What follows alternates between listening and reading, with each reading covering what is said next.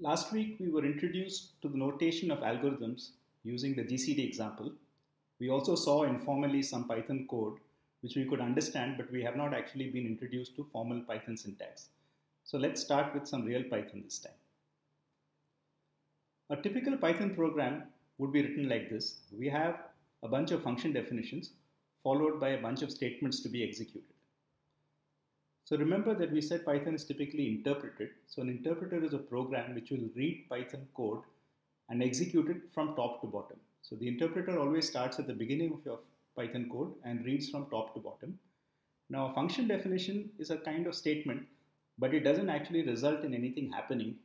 The Python interpreter merely digests the function. It kind of remembers the function definition so that later on if an actual statement refers to this function, it knows what to do.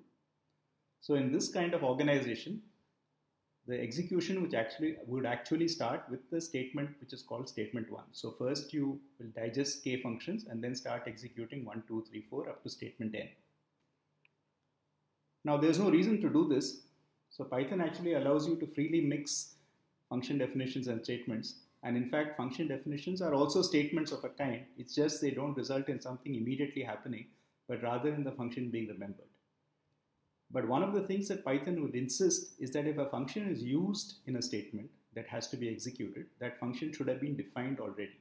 Either it must be a built-in function or its definition must be provided. So if we use this kind of jumbled up order, we have to be careful that functions are defined before they are used. Also, jumbling up the order of statements and function definitions in this way makes it much harder to read the program and understand what it's doing. So though it's not required by Python as such, it is strongly recommended that all function definitions should be put at the top of the program and all the statements that form the main part of the code should follow later. So what is a statement? Well, the most basic statement in Python is to assign a value to a name. So we see examples and we have seen examples and here are some examples. So in the first statement, i is a name and it's assigned a value 5. In the second statement, j is a different name and it's assigned an expression 2 times i. So in this expression, the value of i will be substituted for the expression i here. So if i has not already been assigned a value before, Python would not know what to substitute for i and it would be flagged as an error. So when you use a name on the right hand side as part of an expression, you must make sure that it already has a valid value. And as we saw, you can also have statements which merely update a value.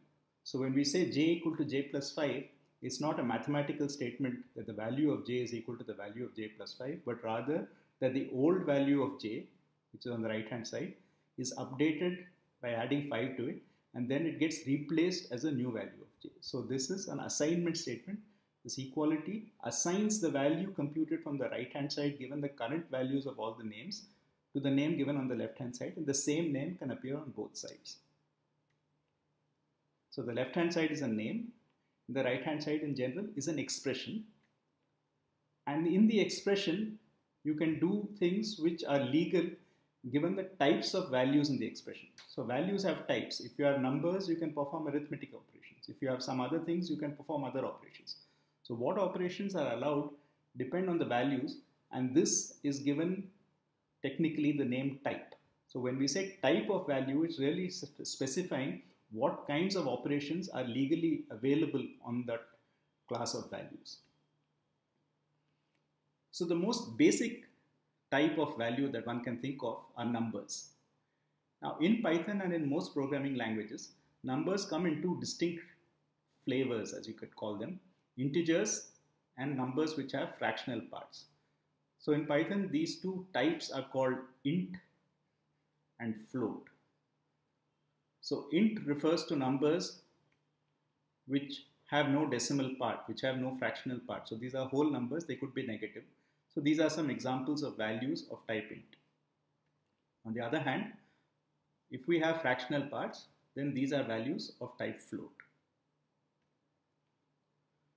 So normally in mathematics, we can think of integers as being a special class of say real numbers. So real numbers are arbitrary numbers with fractional parts.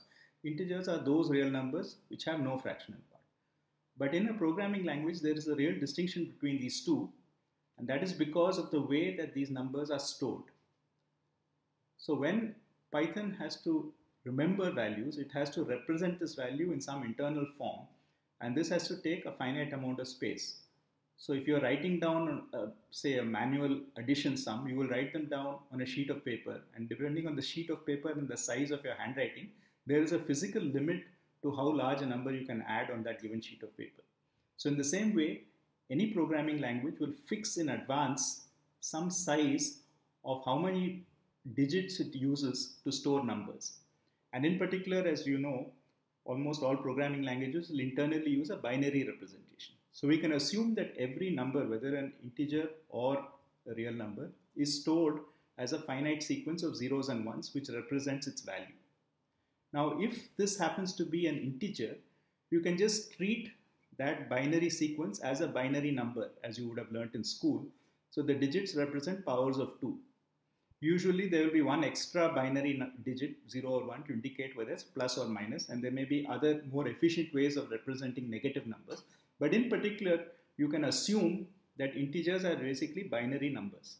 So they're just written as integers in binary notation. Now when we come to non-integers, then we have two issues. One is we have to remember the value, which is the number of digits which make up the fractional part. And then we have to remember the scale. So think of a number in scientific notation, right? So you normally have two parts when we use things in physics and chemistry, for instance. We have the value itself, that is, what are the components of the value, and we have how we must shift it with respect to the decimal point. So this says move the decimal point 24 digits to the right. So this first part is called the mantissa, right? And this is called the exponent. So when we have a number in memory, if it is an int, then the entire string is, is just considered to be one value. Whereas if we have block of digits which represents a float, okay, then we have some part of it which is the mantissa and the other part which is the exponent. So the same sequence of binary digits, if we think of it as an int, has a different value, and if we think of it as a float, has a different value. So why float, you might ask? So float is an old term from computer science called floating point. It refers to the fact that this decimal point is not fixed. So an integer can be thought of as a fixed decimal point at the end of the integer. A floating point number is really a number where the decimal point can vary.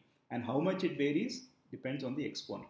So there, there are basically fundamental differences in the way you represent integers and floating point numbers inside a computer and therefore one has to be careful to distinguish between the two. So what can we do with numbers? Well, we have the normal arithmetic operations, plus, minus, multiplication, which has a symbol star, not an X, and division, which has a symbol slash.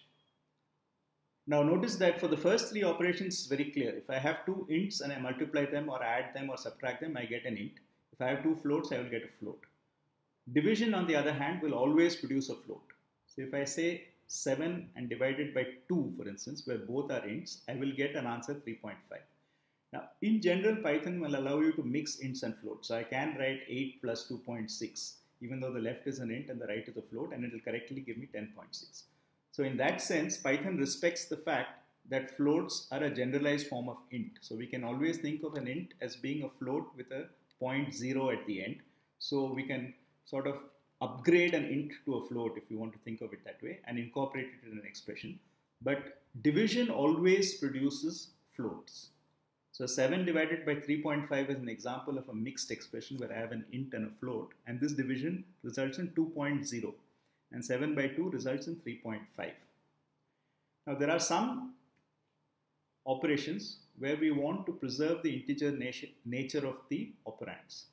We have seen one repeatedly in GCD, which is the modulus operator, the remainder operator. But the corresponding operator that goes with remainder is the quotient operator.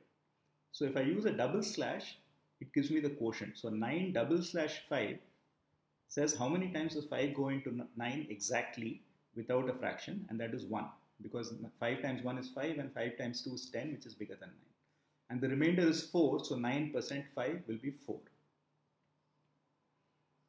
Another operation which is quite natural and common is to raise one number to another number and this is denoted by double star. So 3 double star 4 is what we would write normally as 3 to the power 4 is 3 times 3 times 3 times 3 4 times right and this is 81. Now there are more advanced functions like log, square root, sine and all which are also built into Python but these are not loaded by default. If you start the Python interpreter you have to include these explicitly. So remember we said that we can include functions from a file that we write using this import statement. So there is a built-in set of functions for mathematical things which is called math. So we must add from math import star. This can be done even within a Python program. It doesn't have to be done only at the interpreter. So when we write a Python program where we would like to use log, square root and sine and such like, then we should add the line from math import star before we use these functions.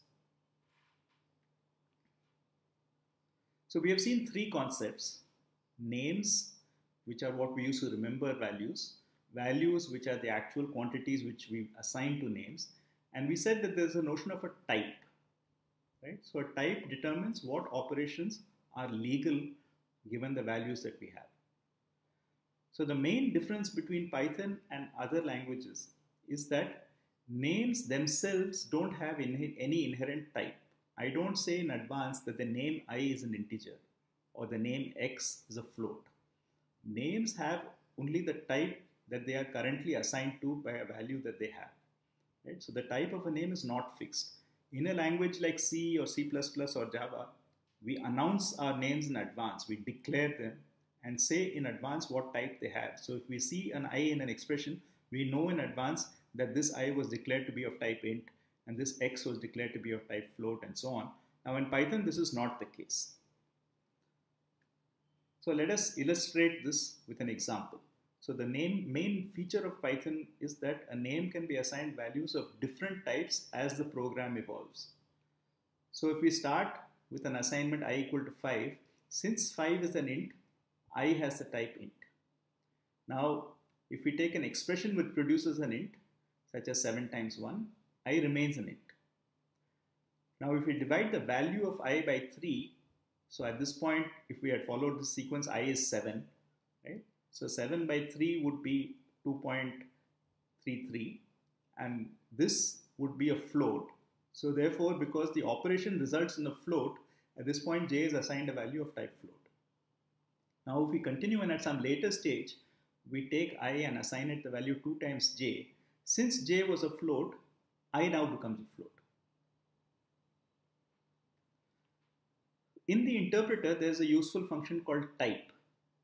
So if you type the word type and put an expression, an either a name or an expression in the bracket, it will tell you actually the type of the expression. Now, Although Python allows this feature of changing the type of value assigned to a name as the program evolves, this is not something that is recommended because if you see an i and sometimes it's a float and sometimes it's an int, it is only confusing for you as a programmer and for the person trying to understand your code. So in the same way that we said before that we would like to organize our Python code so that we define all functions before we execute statements, it is a good idea to fix in advance in your mind at least what different names stand for and stick to a consistent way of using these either as ints or as floats.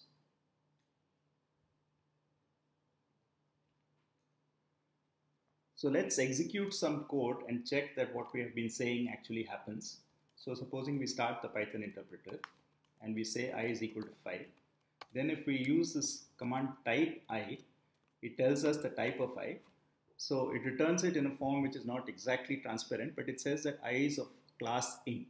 So you see the word int. If I say j is equal to 7.5 and I ask for the type of j, then it will say that j is of class float. So the names int and float are used internally to signify the types of these expressions.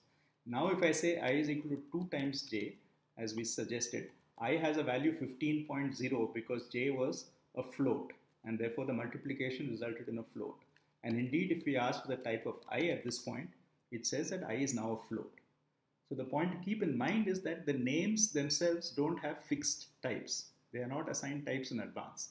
It depends on the value that is currently stored in that uh, name according to the last expression that was assigned.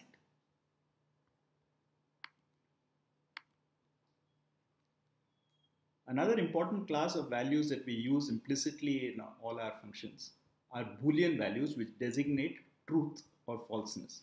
So there are two constants or two basic values of this type which in Python are called true with a capital T and false with a capital F. Right? So true is a value which denotes something is true. So when we remember we wrote conditions like if something happens, if x is equal to y, do something, or if x mod 7 is equal to something, do something in our GCD function. So the output of such an expression where we compare something to another exp expression, compare an expression on the left to an expression on the right, is to determine whether this comparison succeeds or fails. When it succeeds, it is true. When it fails, it is false. So these are implicitly used to control the execution of our program. So we need to have a way of recording these values and manipulating them. So the basic values are true and false. And typically there are three functions which operate on these values. So not negates the value. So true is the opposite of false. So not applied to true will give us false. Not applied to false will give us true. And follows the usual English meaning of and. So when we say that something is true and something else is true, we mean that exactly both of them are true. So x and y, two values of Boolean type, will the expression x and y will be true provided at the moment x has a value true and y also has a value true. If either of them is not true, then the output x and y is false. Or again has an English meaning, but the meaning in computer science and logic is slightly different from what we mean. So normally when we say or, we mean one or the other. So you might say either I will wake up in time or I will miss my bus. So what you would mean is that one of these two will happen. It's unlikely that you mean that you will wake up in time and you will miss your bus. Right? So when we use or in English, we usually mean either the first thing will happen or the second thing will happen, but not both. But in computer science and logic, OR is a so-called inclusive OR, not exclusive. It's not exclusively one will happen or the other, but inclusive. Both may happen. So X or Y is true if at least one is true. So one of them must be true, but it's also possible that both of them are true. So the most frequent way in which we generate Boolean values is through comparisons. So we've already seen two of these. So we have seen equal to equal to. So this is the actual equality of mathematics, not the single equal to which is assignment. So x equal to equal to y checks whether the value x is actually the same as the value y and if so it returns the value true otherwise it returns false. And, and the corresponding inequality operator is an exclamation mark followed. So this is not equal to. Exclamation equal to is a symbol for not equal to and this is the usual mathematical equal and then of course you have for values which can be compared as smaller or larger, you have less than, greater than. This is less than equal to, and this is greater than equal to. So we have these six log logical comparison operators, arithmetic comparison operators, which, which yield a logical value true or false. And the usual thing we will do is combine these. So we might want to say that check if the remainder when divided by n is 0, provided n is 0 not 0. So if you say n is greater than 0 and this, it will require n to be number bigger than 0 and the remainder n divided by n to be equal to 0. So this says m is a multiple of n and n is not 0. And we can take an expression of this kind, a, a kind of comparison which yields, as we said, a boolean value and take this boolean value and assign it to a name. So we can say that n is a divisor of m if the remainder of m divided by n is 0. And we can say that the fact that it's a divisor is true provided this happens. So divisor, divisor is now of type bool, right? And it has a value true or false depending on not whether or not n divides n evenly. So let's look at an example of how we would use Boolean values. So let's get back to the divides example. So in mathematics, we write m divides n to say that m is a divisor of n. Okay, so this means that m times k is equal to n for some k. So m divides n if the remainder of n divided by m is 0. So if so, you return true, else you return false. Right? So this is a very simple function. It takes two arguments and checks if the first argument divides the second argument. Now what we can do is define another function called even whose value is derived from here. So we check whether 2 is a divisor of this number. So we check whether 2 divides n. If 2 divides n, then n is even, we return true. If 2 does not divide n, n is odd, we return false. So similarly, we could say define odd n as the negation of the previous case. So if 2 divides n, then n is not odd. So you take the answer about whether 2 divides n or not and reverse it to get the answer odd. So if 2 divides n, you negate it and say odd is false. If 2 does not divide n, you get false back, you negate it and say odd is true. So we just wanted to emphasize that Boolean values can be computed, assigned, passed around just like numerical values are. So to summarize, what we have seen is that the basic type of statement is to assign a name to a value. Values have types and these determine what operations are allowed. So we can use, for instance, arithmetic operations on numeric types. We can use logical operations like AND, OR, and NOT on Boolean types. But the important difference between Python and traditional languages where we declare names in advance is that Python does not fix types for names. So we can't say that i has a type int forever. i will have a type depending on what it's assigned. So a name inherits the type from its currently assigned value and its type can change as the program evolves depending on what values have been assigned. So what we have seen in this particular lecture are three basic types, int, float and bool. As we go along this week, we will see more types with interesting structures and interesting operations defined on them.